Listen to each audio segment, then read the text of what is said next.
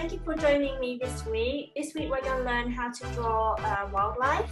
And Mr. Hebert prepared this lesson plan, which is really fun.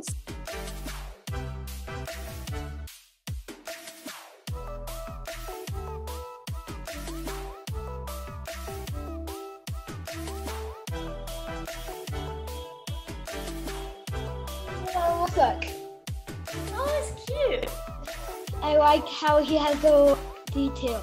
Oh, that's so cool. Good job, guys. Which is your favorite? The eagle. I'll say the woodpecker.